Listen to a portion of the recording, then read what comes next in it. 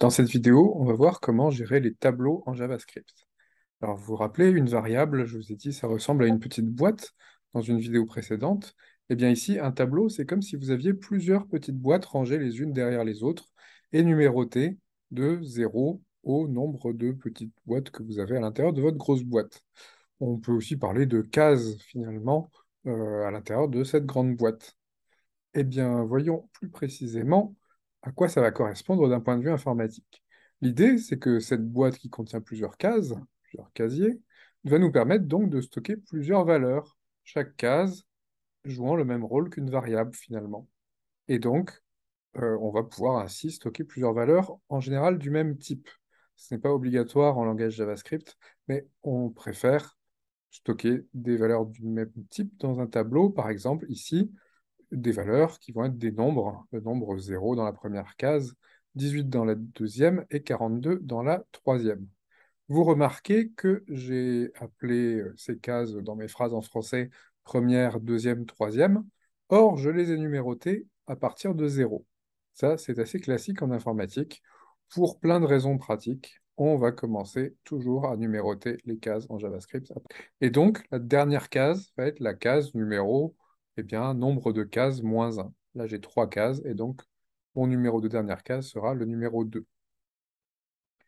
Comment on va noter ça en JavaScript? Eh bien, vous voyez qu'on va utiliser les crochets pour désigner un tableau, et puis on va mettre à l'intérieur de ces crochets les valeurs contenues dans chaque case du tableau, en commençant à la première, c'est-à-dire la numéro 0 en JavaScript, jusqu'à la dernière. Et on va séparer tous ces éléments par des virgules vous comprenez une nouvelle fois ici pourquoi justement les nombres à virgule euh, en JavaScript, on va les noter plutôt avec des points, avec la notation américaine, puisque eh ces virgules servent justement à séparer les différentes valeurs d'un tableau. Et donc, si vous voulez créer un nouveau tableau que vous allez stocker dans une variable tab et qui aura trois cases contenant ces valeurs-là, vous commencez par déclarer votre variable tab avec var tab, puis vous l'initialisez avec ce symbole égal de la valeur qui se trouve à droite à l'intérieur de la variable tab. Et donc, c'est comme si vous donniez à ce tableau de trois cases le nom tab. On va appeler le nombre de cases la longueur. Et donc, dans ce cas particulier, ce tableau a longueur 3. Je vous donne un autre exemple de tableau. Le code sur la gauche permet de créer un tableau en JavaScript qui va contenir des chaînes de caractères cette fois-ci, c'est-à-dire, vous voyez, des valeurs de texte. Donc ici, c'est un tableau de longueur combien? Vous pouvez faire une pause sur la vidéo. Longueur 5, puisqu'il y a 5 cases. Alors, euh, désormais, je peux vous dire ce qu'on va faire avec ces tableaux.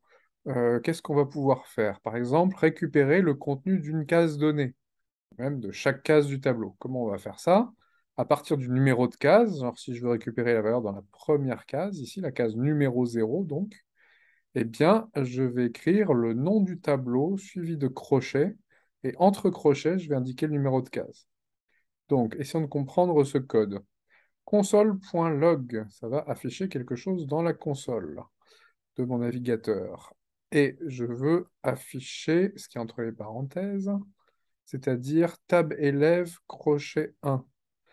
Tab élève, c'est ce tableau-là. Crochet 1, comme je commence la numérotation des cases à 0, ça c'est la case numéro 0. La case numéro 1 en JavaScript, c'est celle-là. Et donc, ça, peut-être on peut le tester. Donc, je quitte, euh, je quitte euh, le partage d'écran. Je quitte le plein écran pour aller dans la console. Je vais copier-coller cette ligne-là pour créer mon tableau tab élève. Et puis, je vais lui demander d'afficher le contenu de la case, finalement, la deuxième case, la case numéro 1 en JavaScript, il m'affiche bien Bruno. Le undefined qui arrive après, comme je vous l'avais expliqué lors d'une précédente vidéo, c'est simplement que ce console.log ne va pas renvoyer une valeur. Il se contente d'afficher une valeur dans la console, mais il n'a pas de valeur en tant que tel, ce console.log avec ce qui est entre parenthèses. Alors maintenant, si je veux changer la valeur d'une case, je peux utiliser bah, finalement la désignation de cette case.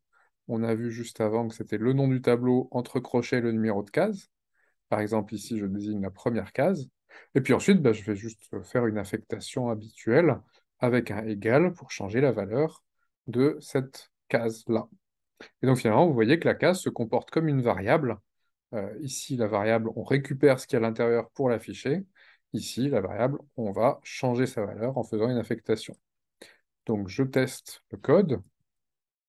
Et maintenant que j'ai fait cette euh, modification de tab élève, je vais essayer de taper voilà, tab élève et je vois qu'en effet, la première euh, valeur du tableau a changé. Enfin, on me dit que si je veux récupérer les longueurs, c'est-à-dire le nombre de cases, je dois utiliser tabelève.length. En effet, j'ai bien 5 qui est affiché dans la console, qui m'est donc renvoyé par euh. On va passer cette fois-ci au code qu'on avait vu lors du premier TP. Ce code, euh, vous voyez qu'il contient un ou des tableaux. Alors, je vous laisse peut-être faire pause sur la vidéo pour trouver si vous voyez les tableaux en question. Alors, premier tableau. Eh bien, ici, je repère les crochets. Je devine donc qu'il y a un tableau. Alors, attention, cette ligne-là, je l'ai abrégée dans cet exemple. Vous ne voyez donc pas le tableau, enfin les crochets fermants du tableau. Vous ne voyez pas la fin du tableau. Est-ce que c'est le seul tableau qu'on voit ici?